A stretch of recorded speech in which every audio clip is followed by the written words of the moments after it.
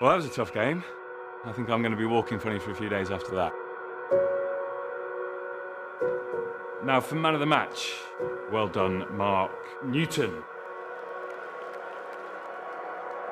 Are you in the A squad?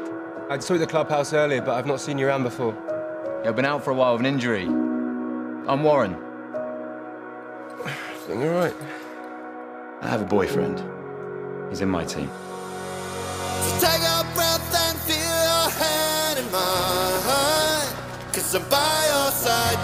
What are you doing this week? I want to take you out. You're unbelievable. Oh, uh, John, these are my teammates. This is Pinky and Mark. Mark, I'm John. This is Warren, my partner.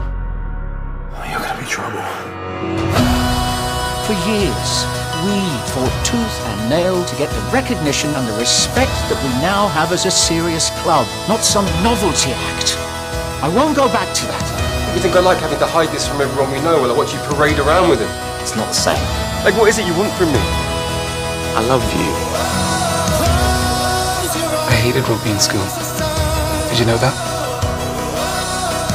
Then I met all of you boys. It was like finding a family. This isn't fair. No, it isn't.